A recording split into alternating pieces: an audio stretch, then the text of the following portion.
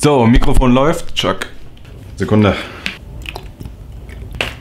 High hydrated sein, sag ich nur. Viel Wasser trinken ist eine gesunde Sache. Außerdem kennt ihr das, vielleicht der eine oder andere vielleicht wirklich kennt es von euch, da er selber YouTube-Videos aufnimmt. Wenn man ein YouTube-Video dreht und in einem Raum hier sitzt, wo eigentlich ja sonst kein Mensch drin ist, hat man hier links eine riesige Softbox, die unwahrscheinlich warm ist und außerdem hat man einfach permanent einen trockenen Mund, weil man so viel mit dieser Kamera redet. Das ist unglaublich.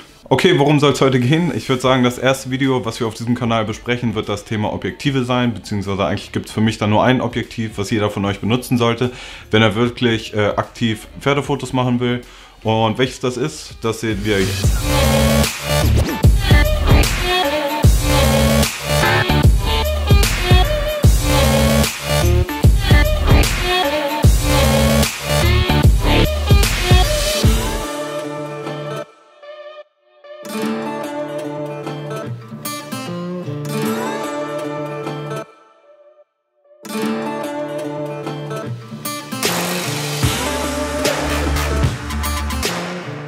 Okay, wie ihr gerade gesehen habt, äh, rede ich hier oder geht es hier heute eigentlich nur um das ähm, 70 bis 200 mm Telezoom-Objektiv. Ähm, bei mir ist von der Firma Sony, da ich mit, nem, mit der Sony Kamera arbeite, macht es auch Sinn eigentlich ähm, ein Sony Objektiv zu nutzen, da diese Objektive dann am besten mit dem Body der Kamera zusammenarbeiten, was sich positiv auf den Autofokus auswirkt, auf die Bildqualität nochmal und auf die Bildschärfe. Also das sind alles so schon mal drei Punkte, warum es Sinn macht, wenn man zum Beispiel eine Sony oder eine Nikon, Canon Kamera, äh, was auch immer für eine Kamera man nutzt, auch die Objektive aus dem eigenen Haus nutzt, da die Bildqualität oder die Objektive mit dem Body der Kamera meistens am besten zusammenarbeiten, anstatt dass man irgendwelche Objektive von Fremdfirmen nimmt. Zumindest ist das so meine Erfahrung, was die Thematik Objektive angeht. Allerdings kann man auch andersrum wieder sagen, es gibt auch von anderen Firmen mit demselben Bajonettanschluss verdammt gute Objektive, die einen super guten Preis-Leistung oder die super gute Preis-Leistungskiller sind. Wie zum Beispiel bei mir jetzt hier das Objektiv, was mich gerade filmt. Das ist ein Sigma 24 bis 70 mm. Das hätte von Sony über 2000 Euro gekostet. Das muss man einmal dazu sagen. Also ein preislicher Unterschied ist auch nochmal sehr stark gegeben. Und von der Bildqualität und Bildschärfe ist es ähnlich wie das Sony eigene 24 bis 70 mm. Und daher habe ich mich dann dafür entschieden, da ich das Objektiv, das 2470, ausschließlich für Videos nutze, wird das Objektiv für den Zweck auch reichen. Allerdings muss ich sagen, bei der Fotografie nutze ich dann doch lieber Sony-Objektive, da die, wie ich schon sagte gerade, mit dem Autofokus und so weiter am besten klarkommen und am schnellsten sind. Und genau das ist das, was ich eigentlich, wenn ich Sportfotografie betreibe, auch wirklich haben möchte.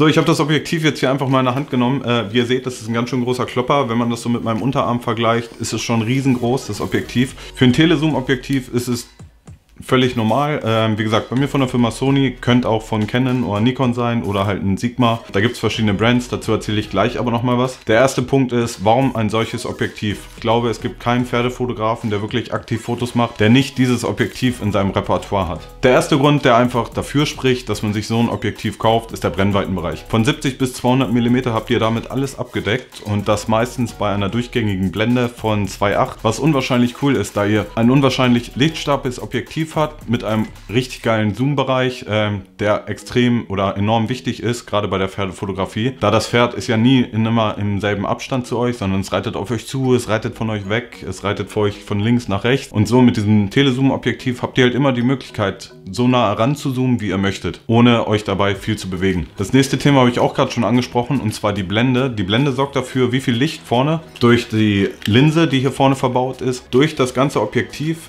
einmal komplett durchgeht und dann auf den Sensor trifft. Ähm, also wie viel Licht einfach durch das Objektiv auf euren Sensor kommt. Dafür ist die Blende zuständig. Hier ist es ein f2.8 ähm, Objektiv. Das bedeutet, es kommt unwahrscheinlich viel Licht durch den oder auf euren Sensor, was zum einen ermöglicht, auch bei schlechter Jahreszeit oder bei einer Dunkelheit richtig schöne Fotos zu machen. Und zum anderen sorgt es einfach dafür, dass ihr immer ein wunderschönes, ähm, sehr weiches Bokeh habt. Also dass dieser unscharfe Hintergrund, ähm, der hinter einem dann ist oder hinter dem Objekt, was ihr fotografiert. Das ist so der nächste Punkt. Das nächste, was an so einem Objektiv sehr cool ist, zumindest bei, ich glaube, Nikon, Canon und Sony Objektiven, ist es definitiv der Fall. Und zwar, dass sie eine optische Stabilisierung haben. Das bedeutet, dass alle Linsen, die hier drin verbaut sind, äh, in so einer Schwinge sind und Ruckler damit ein bisschen ausgeglichen werden. Das ist zum einen ein Vorteil, weil eure Bilder einfach schärfer werden, weil ne, weniger Bewegung bedeutet mehr Schärfe. Der nächste Vorteil ist, ihr könnt auch Wenn es wirklich dunkel ist und ihr stehende Objekte habt, die ihr fotografiert, mit der Shutter Speed noch weiter runtergehen, als ihr es zum Beispiel mit einem Objektiv machen könnt, was keine optische Stabilisierung hat.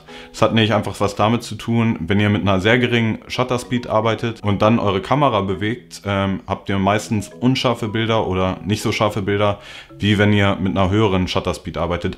Das ist aber ein Thema mit der ganzen Bildeinstellung und Kameraeinstellung, was wir in einem weiteren Video mal besprechen werden.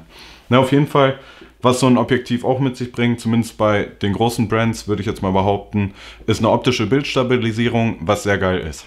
Der nächste Punkt, den die meisten Objektive wirklich ausmachen, da sie für die Sportfotografie konzipiert sind, sind die unwahrscheinlich schnell, was den Autofokus angeht. Das heißt, ihr könnt euch eigentlich nur noch darauf konzentrieren, wie die Komposition eures Bildes aussieht, da der Autofokus zu 99% immer sitzen wird. Also wenn ihr die Kamera richtig eingestellt habt und wisst, wie ihr mit eurer Kamera umzugehen habt, ähm, dann wird der Fokus immer so da sitzen, wo ihr ihn haben wollt und die Bilder werden vom Fokussieren her immer scharf sein und das ist unwahrscheinlich cool, da es Objektive gibt, die nicht so eine lange Brennweite haben, die definitiv langsamer arbeiten, was den Autofokus angeht. Ja, noch ein Grund, der so ein Objektiv ganz interessant macht, ähm, ist einfach der Spritzwasserschutz. Es soll nicht heißen, dass andere Objektive das nicht haben, aber ich kenne kein 70 bis 200 mm Objektiv, was kein Spritzwasser oder was nicht Spritzwasser geschützt ist. Das bedeutet halt, ihr könnt auch bei Regen draußen noch arbeiten, ohne dass die Kamera gleich komplett kaputt geht. Natürlich nur, wenn eure Kamera Kamera das ab kann. Das müsst ihr aber dann selber mal herausfinden. Das kann ich euch jetzt nicht sagen. Ähm, allerdings ist bei den meisten Objektiven der Bajonettanschluss hier mit so einer kleinen Gummilippe versehen, die dafür sorgt, dass, ähm, wie gesagt, keine Regentropfen oder Staubkörner oder was weiß ich, im Sommer kann es ja auch ne, zu Staub kommen, auf euren Sensor kommt und somit die Kamera beschädigt, sondern die Objektive sind halt so abgedichtet und hermetisch zugemacht, dass ihr damit auch mal im Regen, Staub, was weiß ich was ihr für Bedingungen bei euch zu Hause habt, Schnee meinetwegen, ähm, arbeiten könnt, ohne dass eure Kamera gleich kaputt geht. Ein Punkt, der allerdings äh, dagegen spricht, sich so ein Objektiv zu kaufen, ist meistens einfach der Preis. Also mein Objektiv hier hat, äh, habe ich mir damals zusammen sogar mit Jasmin gekauft vor zwei Jahren, äh, hat zweieinhalbtausend Euro gekostet. Das ist natürlich eine richtige Stange Geld, wenn man gerade damit anfängt, sowieso, aber auch wenn man schon länger dabei ist. Und da kommen dann halt solche Drittanbieter wie Sigma und Tamron und ich weiß nicht, was es noch gibt, Wildrox meinetwegen, ins Spiel, denn die bieten Objektive mit einer ähnlichen Bildleistung oder mit einer ähnlichen Abbildungsleistung und einer ähnlichen Bauqualität und so weiter für definitiv geringeres Geld. Und wenn ihr jetzt gerade auf Versuche nach so einem 70 bis 200 seid, kann ich euch nur empfehlen, guckt mal nach dem Sigma Art 70 bis 200. Ich glaube, die haben inzwischen eins rausgebracht, zumindest für Nikon und Canon. Ich weiß nicht, ob es inzwischen auch eins für Sony gibt. Auf jeden Fall wäre das ein Objektiv, was von der Bildqualität, Bildschärfe und äh, vom Autofokus her sehr nah an die hauseigenen Objektive ran rankommt und für euch wahrscheinlich sehr interessant sein könntet. Wenn ihr jetzt sagt, das ist immer noch zu teuer, gibt es noch eine Festbrennweite, die ich euch vielleicht empfehlen wäre und, und zwar ein 135 mm Objektiv.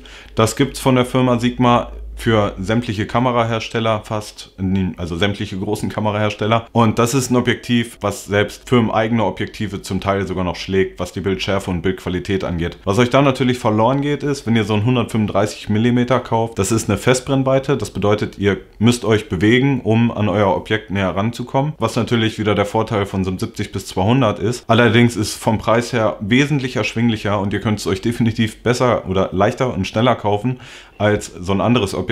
Und was nochmal so der Vorteil von so einem 135 mm, äh, zumindest von Sigma ist, ist einfach, dass es eine Blende von 1,8 hat. Das heißt, es ist noch lichtstärker, es kommt noch mehr Licht rein und es hat noch mehr Bokeh und es ist einfach noch schärfer, da in dieser 135 mm Festbrennweite weniger Gläser verbaut werden müssten oder müssen, um ähm, dieselbe Abbildungsleistung zu, hinzubekommen, wie es mit einem 70 bis 200 mm Objektiv der Fall ist. Also von daher das, sind das zwei Alternativen auf jeden Fall schon mal für euch, die sehr interessant sind, da sie vom Preis her um einiges erschwinglicher sind und von der Bildschärfe und Bildqualität her definitiv mit den firmeneigenen ähm, Objektiven mithalten können. Also guckt einfach mal bei Google, beziehungsweise ich habe euch hier unten in der Videobeschreibung auch zwei Links dazu reingepackt ähm, zu Amazon, wo ihr einfach mal gucken könnt, ob ihr vielleicht euch ein solches Objektiv kauft von der Firma Sigma. So, ich fasse nochmal kurz zusammen, wenn ihr euch vielleicht jetzt gerade ein Objektiv aussucht, was ihr euch vielleicht kaufen wollt.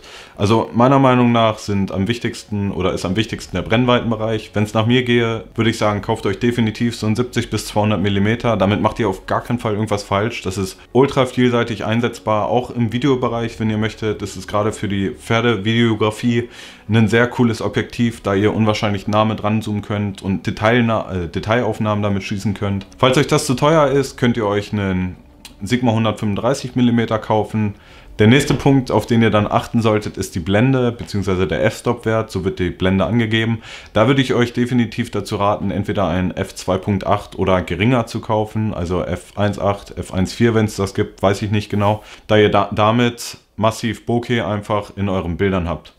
Ja, ich hoffe, ich konnte euch noch mal ein bisschen was beibringen zum Thema Objektive. Viele wissen wahrscheinlich schon Bescheid, was man da so kaufen müsste oder auch nicht. Wie gesagt, das ist das Objektiv oder das 70 bis 200 ist meiner Meinung nach das Objektiv, womit ihr am meisten Vergnügen und am meisten Spaß haben werdet, Bilder zu machen, egal von welcher Firma und für welchen Kamera-Body äh, ihr es benötigt. Also von daher würde ich sagen, lasst ein Like da, abonniert den Kanal, falls ihr das noch nicht gemacht habt. Ähm, wenn ihr Fragen habt, schreibt sie mir gerne noch unten in die Kommentare. Könnt ihr auch Anregungen oder was auch immer ihr gerne nochmal sehen wollt unten mit in die Kommentare schreiben. Die Affiliate-Links, die ich unten in der Videobeschreibung habe, sind, wie ich schon sagte gerade, Affiliate-Links. Damit unterstützt ihr ein bisschen den Kanal hier, ähm, wenn ihr über diesen Link etwas kauft. Das kostet euch nicht mehr Geld, ist nur für mich was, ein kleiner Obolus, sag ich mal, wenn ihr über so einen Link etwas bestellt. Würde ich mich natürlich drüber freuen, müsst ihr aber nicht machen. Rein freiwillige Sache. Und jetzt würde ich sagen, sehen wir uns dann nächsten Sonntag im nächsten Video und ich wünsche euch noch einen schönen Abend. Macht's gut. Ciao.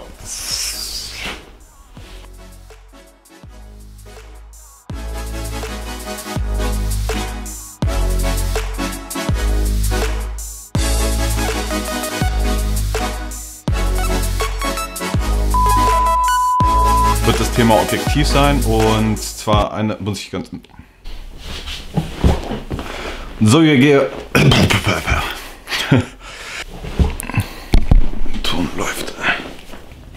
So, Mikrofon läuft. Chuck. Sekunde.